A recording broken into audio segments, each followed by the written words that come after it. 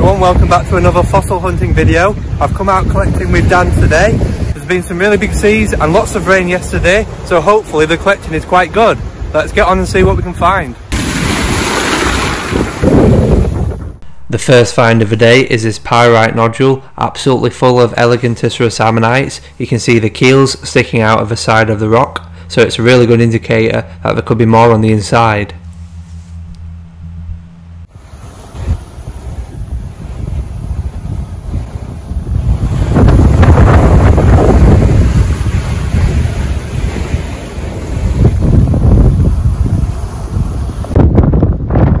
This shale slab is absolutely full of really crushed Eleganticeras ammonites. It must have been a deathbed back when the seas were absolutely teeming with ammonite life.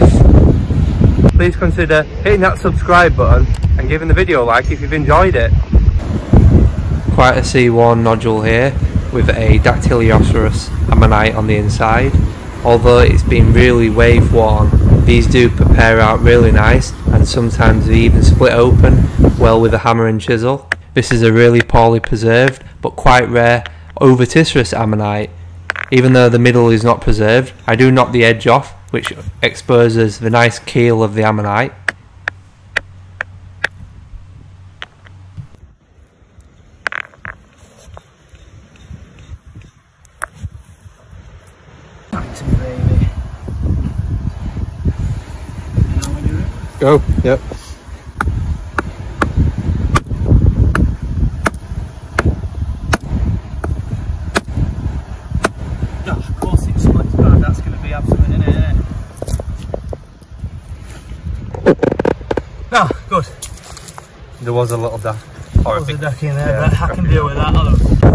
When there's nothing showing on the outside of a nodule, it's worth giving it a tap with your hammer because otherwise you'll end up carrying tons of rocks up off the beach which are all empty.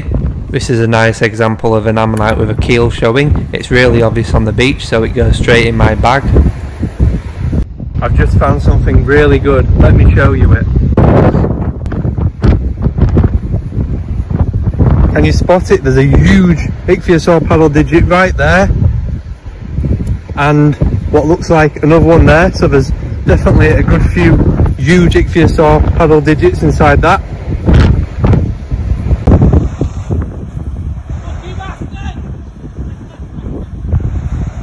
This is one of the many flipper bones or paddle digits from a 180 million year old ichthyosaur which was a sea creature back in the Jurassic these marine reptile fossils are really rare around here, so I'm really pleased with this find.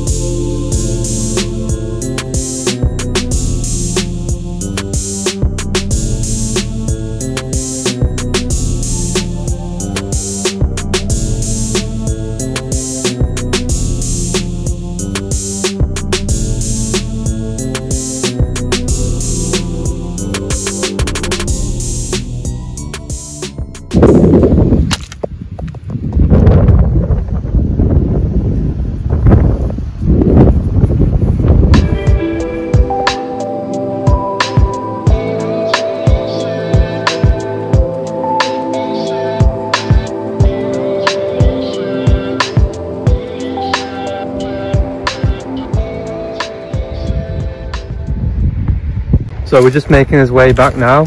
We've both got two very heavy bags, but still room for more really good fossils.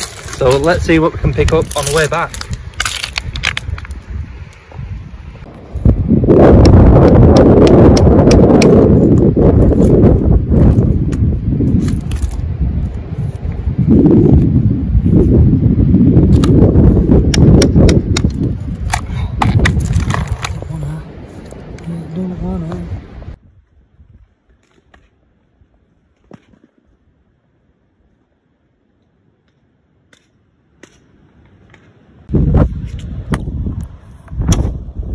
Someone had already broken open this nodule looking for the famous Whitby cannonballs. There was a really nice ammonite on the inside, but unfortunately it's broken or shattered when they've hit it with the hammer.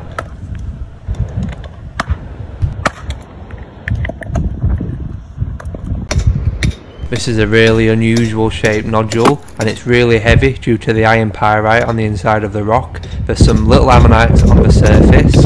I did leave this one as it was really heavy to get back up the cliff.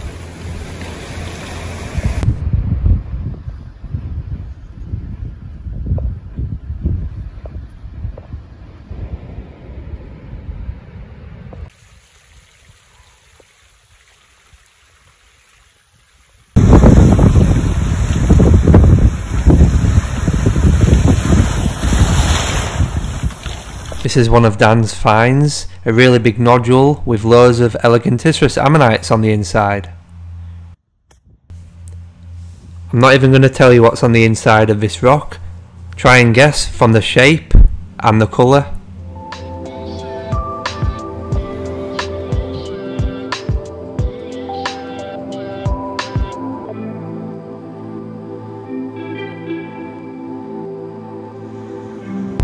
Remember guys, if you do enjoy watching my fossil hunting videos, please hit that like button if you've enjoyed it and subscribe for more fossil hunts.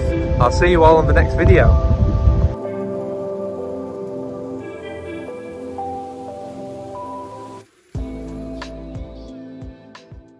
Hi everyone, I'm back up from the beach now. Let's go ahead and take a look at today's best find and then compare it to a find I found in the same spot roughly a month or so ago. So here is today's best find, a really big ichthyosaur paddle digit and possibly another few on the back. You can see the matrix is solid iron pyrite, shelly type material and there's a piece of fossilised wood washed up on the back. A few months ago I did find this piece roughly in the same spot. This one also has washed up against a piece of fossilised wood.